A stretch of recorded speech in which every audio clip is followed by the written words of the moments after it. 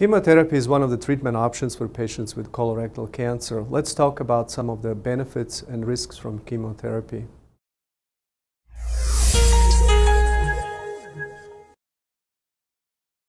The benefit of chemotherapy for colon cancer patient is extending the life of patients with advanced stage 4 colon cancer and increasing the cure rate for patients with early stage like stage 2 or 3 colon cancer. For example, we know today that if a patient is diagnosed with metastatic colon cancer, uh, if we don't pursue chemotherapy, the life expectancy is likely to be in the range of six to eight months.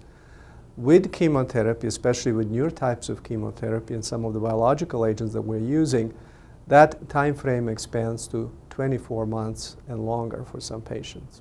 For patients with early stage colon cancer, that could be cured with combination of surgery and chemotherapy. We know that chemotherapy significantly decreases the risk of cancer recurrence, uh, cancer coming back in those patients.